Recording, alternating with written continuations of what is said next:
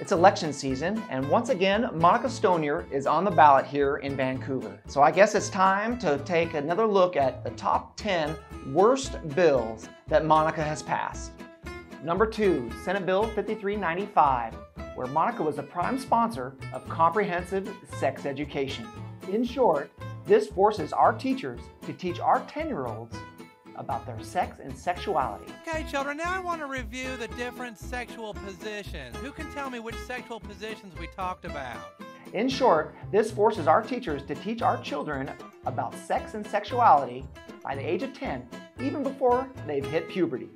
Hi, I'm Jeremy Baker, and if these policies seem crazy to you, that's because they are, and you're not alone. It's time to reverse these policies before it's too late. Vote for me on November 8th, 2022. I'm Jeremy Baker, and I approve this message.